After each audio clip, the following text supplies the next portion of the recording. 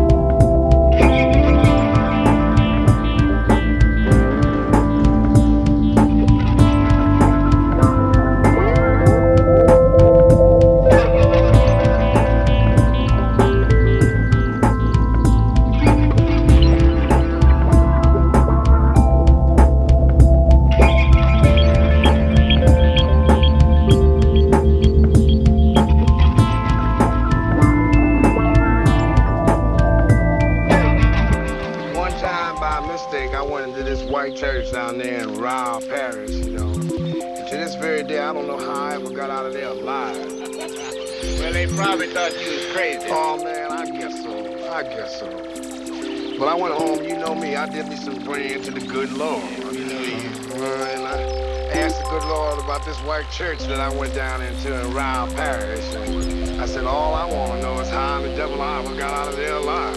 And what did the good Lord say to you, eh? Well, the good Lord say, I, you know, you're doing better than me. Because I've been trying to get in there for 200 years and I ain't making it